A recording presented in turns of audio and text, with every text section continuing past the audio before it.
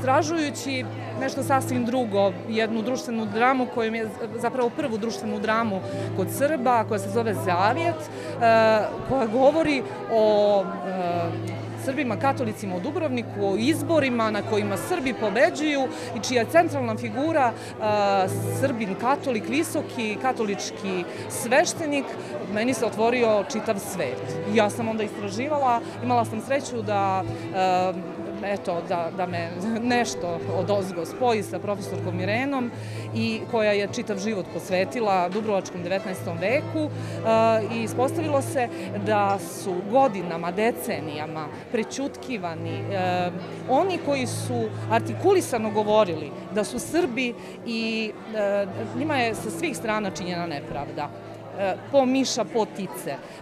Nisu ni tamo ni ovamo. Ti hibridni identiteti mene inače interesuju.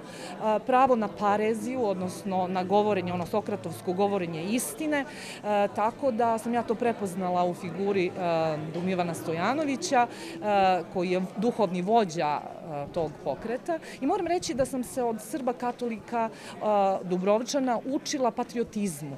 Oni nisu ulazili u stranke da bi imali neku korist, nisu ni iz kakvog drugog ubeđenja, nego samo da kažu svoju istinu. A to je, mi smo ti koji smo bili ovde i u 13. i u 14. veku, o tome svedoče dokumenta u Dubrovačkom arhivu i prosto kako duhovito, pošto je duhovit čovek bio, kaže moj ovaj, glavni junak Dum Ivan Stojanović, dajem svima od šake do lakta koji mi kažu da u ovom najboljem od svih svjetova nisam onaj koji jesam. Ja sam baš ovaj koji jesam.